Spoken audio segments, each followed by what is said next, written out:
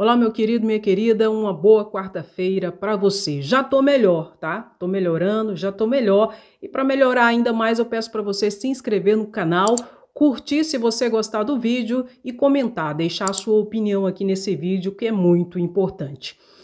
Pois bem, já foi votado em primeiro turno a PEC emergencial ali na Câmara de Deputados Federais.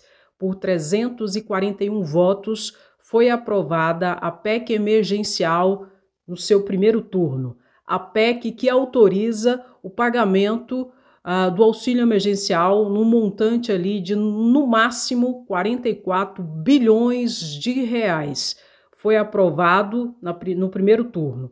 Agora eles estão votando requerimentos, estão tentando obstruir, estão votando os destaques, que são emendas apresentadas em plenário. Destaques tentando acrescentar ou retirar alguma situação do texto ali da PEC emergencial que congela o salário dos servidores, que tira a possibilidade de progressão na carreira e que possibilita uma série de situações que são ah, muito injustas, porque sempre atinge uh, o baixo escalão. O grande escalão do poder legislativo, do poder judiciário, não está inserida nesse pacotão de maldade da PEC emergencial, em que se embutiu ali a autorização para o pagamento de uma nova rodada do auxílio emergencial, uma forma de chantagem para que pudesse ali aprovar as medidas impopulares que estão inseridas dentro do texto da PEC emergencial. Mas foi aprovada em primeiro turno de votação.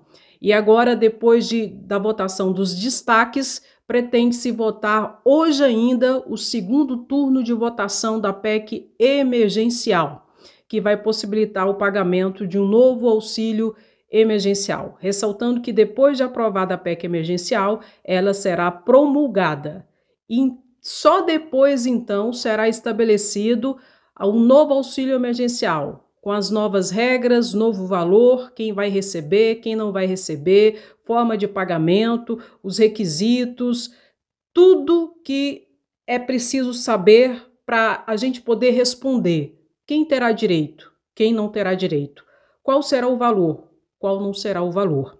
No próximo vídeo eu vou explicar para vocês uh, o que está acontecendo nos bastidores e o que possivelmente ocorrerá depois da aprovação da PEC emergencial.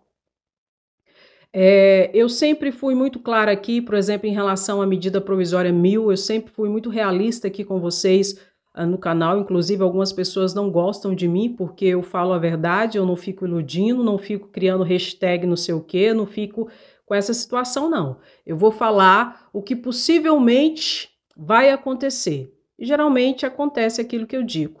Eu falei sobre a medida provisória mil que ia acontecer com ela, e ela caducou. E muitas pessoas não gostaram de ouvir a realidade aqui. E eu vou falar agora o que vai acontecer, possivelmente logo após a aprovação da PEC emergencial, em que o governo federal estará autorizado a pagar uma nova rodada do auxílio emergencial. Como deverá ser esse formato? E como será a configuração de toda essa situação? Ressaltando que essa PEC emergencial foi enviada pelo governo Bolsonaro, tá? Foi enviada pelo governo Bolsonaro ali para que fosse aprovada. Então, tudo que está acontecendo ali está dentro do pacote do governo Bolsonaro, tá? Em que Guedes também, lógico, e todos os seus ministros, lógicos, uh, estão ali por detrás porque são subordinados ao presidente Bolsonaro, tá?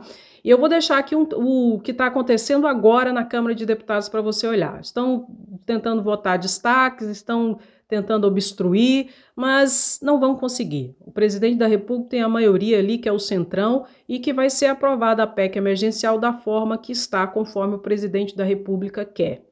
Tá bom? Mas eu vou deixar alguns trechos aqui para você dar uma olhada. E no próximo vídeo eu vou falar o que vai acontecer depois da aprovação da PEC emergencial.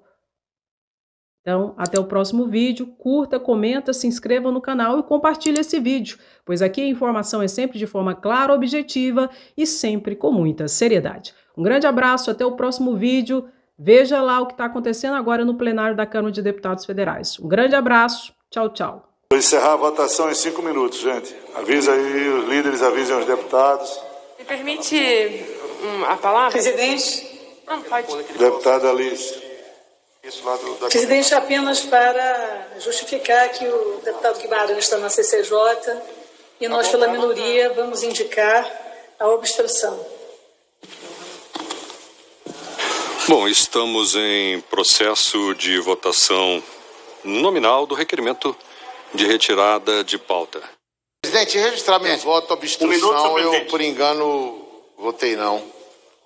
Obstrução, registrar em ata. Não, você vai contar o quórum, mas consta em ata que eu votei obstrução, por gentileza. Senhor presidente. Claro, deputado. Oh, só para orientar, um o senhor está tá com o coração mole hoje. Não, Obrigado. Estou com ele é, mole, não. Já, em dois minutos, dou um minuto e do, mais um minuto eu encerro a votação. Obrigado.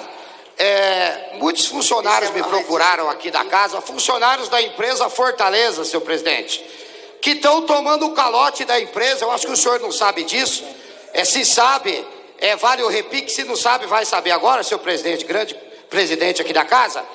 Vários funcionários me procuraram que estão tomando o calote da empresa Fortaleza, aqui, terceirizada aqui da casa, que não está sendo repassado seu presidente, o vale transporte para o trabalhador que vem aqui, pega o ônibus lotado, vai todo mundo em pé, um em cima do pescoço do outro, parecendo uma lata de sardinha, e tem que encontrar ainda de vez em quando até tarado dentro dos busão, e para vir trabalhar, para deixar a casa onde nós frequentamos limpinha, cheirosinha. E a empresa Fortaleza está dando calote, seu presidente. Eu peço para Vossa Excelência olhar com carinho porque o trabalhador não pode ser prejudicado. Empresa Fortaleza, tome vergonha da cara. Presidente, me permite Está um minuto. encerrada a votação. Tem mais um minuto ainda? Está encerrada a votação. Me permite um minuto, presidente. Minuto só, deputada.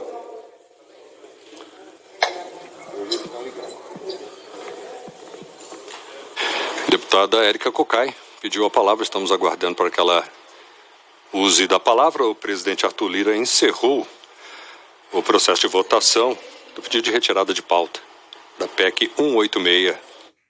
13, não, 307. Abstenção, 2. Total, 322. Obstrução, 85. Está rejeitado o requerimento. Passa-se a continuação da votação. Destaque de bancada número 16 requer nos termos do artigo 161, inciso 1, parágrafo 2 do Regimento Interno da Câmara dos Deputados, destaques para votação em separado do artigo 67, contido no artigo 1 da PEC 186 de 2019, para sua supressão. Destaque do PSB para encaminhar a favor do requerimento o deputado Danilo Cabral.